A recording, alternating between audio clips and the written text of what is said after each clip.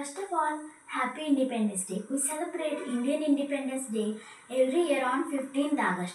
In this year, we celebrate 78th Independence Day. 2024 is being celebrated with the theme of Viksit Bharat, which means developed India. Independence Day is not just about the past. It's also a time to reflect on the present and visualize our future. In Indian flag, saffron signifies courage and sacrifice.